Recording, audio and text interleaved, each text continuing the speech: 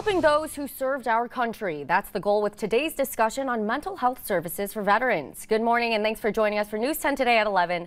I'm Taylor Gattoni. Today, the Michigan Department of Military and Veterans Affairs is holding a roundtable discussion to discuss suicide prevention among our veterans in Lansing.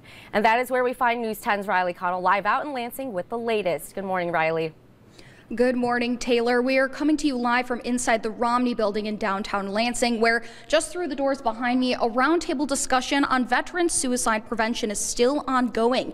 So far, we've heard from several state leaders, including Lieutenant Governor Garlin Gilchrist and the director of the Michigan Veterans Affairs Agency, Adam Ollier. They're saying that providing sufficient mental health services for veterans and their families is at the center of this discussion.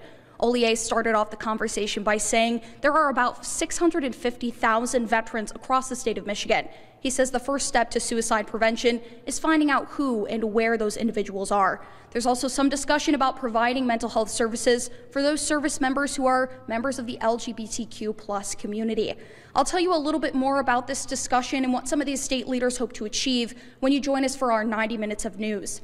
Until then, I'm Riley Connell, live in Lansing, News 10.